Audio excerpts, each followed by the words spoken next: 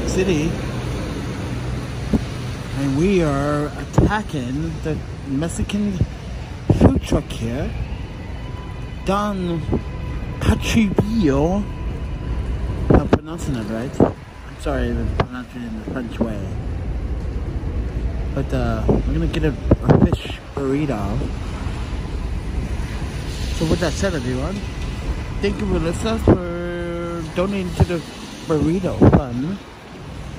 But I also want to say thank you to Michael Collins for the donation, Lord Bryan for a donation, Lisa Kerr for a donation. Just to emphasize why I removed some of the comments that claim to so-called gave a donation to the PayPal. I never received a donation to the PayPal. Only to Lisa Kerr has been donated to the PayPal so far. So with that said, I want to give a shout out to those supporting the channel. You're a big help. But uh, we're gonna move this wagon over here.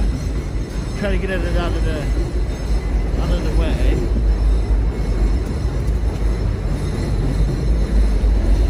So, if you guys don't understand what's going on in this video, I'm a travel documentarian photographer. And what started this was that I moved out of Wisconsin, Milwaukee, because I had a kind of like a terrible move, living experience with someone. And then we said decided to come to New York, and we went to Boston, and we DC. We did some work here. We did some photography for quite some time. It was stable, and it got kind of dry. So business was kicking in. So now we are here live. I want to get a fish burrito. So with that said, let's go get that damn fish burrito.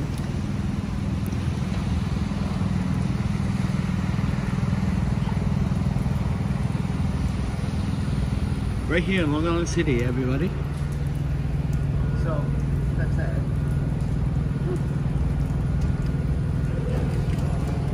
May I get a fish taco, please? Sí, sí.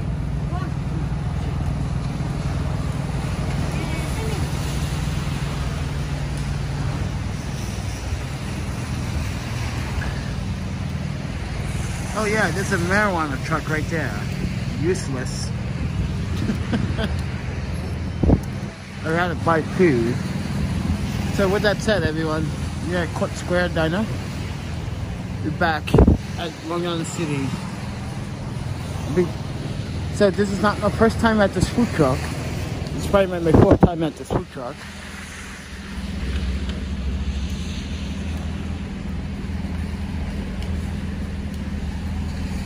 But anyway, everybody, thank you, Melissa, for the dinner tonight. But it's also raining right now, so trying to keep shelter. But we should be on the other side. What I should do is move to the other side so we don't get wet as much. So what I'm gonna do is move to the other side.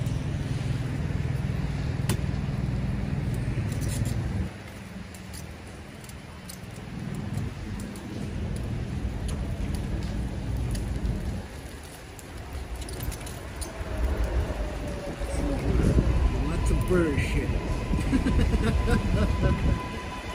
Isn't it ironic? All the bird shit is right here, but technically the birds are, migrating, so there's no birds here. We only do that in the winter and, and during the summer. But with that said, everyone, ooh, it is cold and raining at the same time. So take it with a grain of salt, everyone. But anyway, thank you, Melissa, for the burrito. But St. Patrick's Day, everybody, is coming up. I will be doing a live stream on St. Patrick's Day, Fifth Avenue, live stream. So stay tuned to that as well. If you're not familiar with the St. Patrick's Day parade here in New York City. New York City press office actually required me to buy a press vest, which I just, I'm about to in a little bit, everybody. So the money that you guys are helping me with, I have to buy a custom press vest, I guess. So NYPD can identify us on the floor, which is like those yellow reflector vests.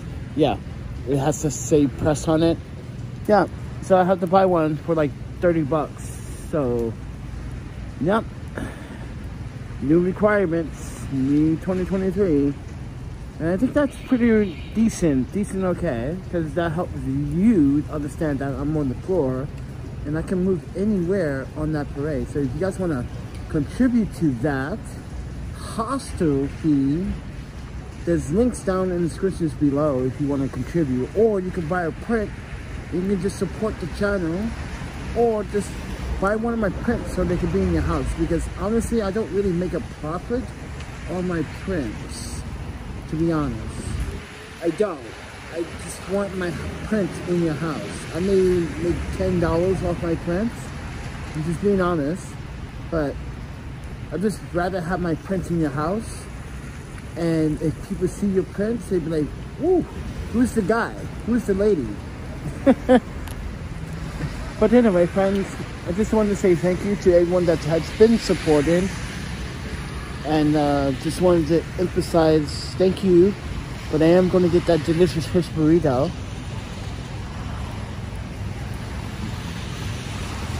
but St. Patrick's Day is on March 17th so I'm trying to only stay for the two days 16th and 17th and check out the 18th I don't want to spend too much money on New York City anymore I just want to do a lot of like main events for the two days and that is it. It's not understandable if you guys can understand what I'm trying to apply here. Is that I want to, I want to be here on the first two days of the event and on the day of the event and then check out the next day. I don't want to be here the next day or spend money on the next day. So with that said everyone, thank you for supporting the channel. It is raining, as I predicted and said earlier in my short little video today. And then Andy Scott was saying that if you're ever going to get off the streets, and I would say it's up to society to decide if I'm worthy, because since I'm black in America, not everyone sees me as uh, honest and worthy.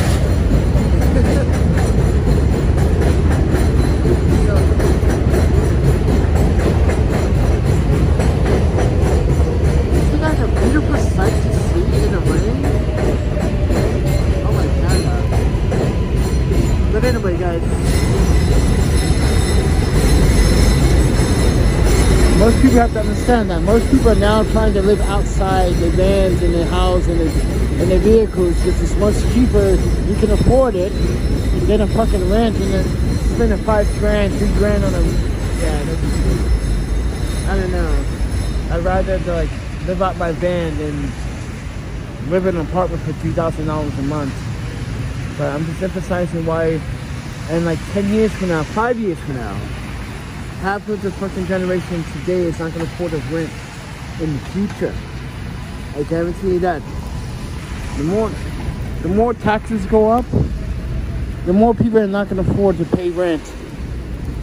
And look at New York City. They just have now had to pay $21.5 million to that George Floyd protest that happened in the Bronx and uh, what is that? Mount, Mount, what is that? Mount? The Bronx, I don't know, someplace near 138th Street.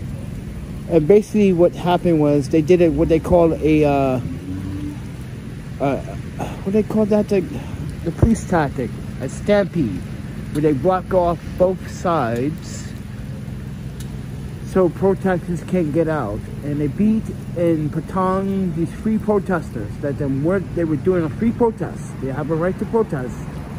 And basically, guys, you have to understand, you have a right in this country to do a protest and freedom of speech. And they were not doing anything. And now NYC has to pay money out of taxpayers' dollars. And that is 21.5 what is it, 21, 21.5 thousand dollars per person, which means that from what the records I looked at, it was 287 people that got arrested. So that means like they have to pay, yeah, quite a bit of money. See? And Mayor Adams has to answer to that. And I'm telling him that your police are not being police, they're being tyrants. So keep that in mind. Tyrants. That's what they are. They think they're above the law, but they're citizens. And we pay for these tyrants.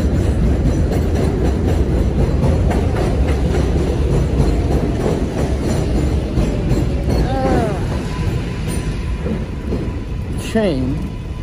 It's a shame that that taxpayers have to pay for these type of tyrants, and they're supposed to protect and serve. But I digress. With that said, everyone, just take care. I'm gonna get my burrito. I'm gonna have a good night. I'm gonna get wet tonight. It's gonna be a long one.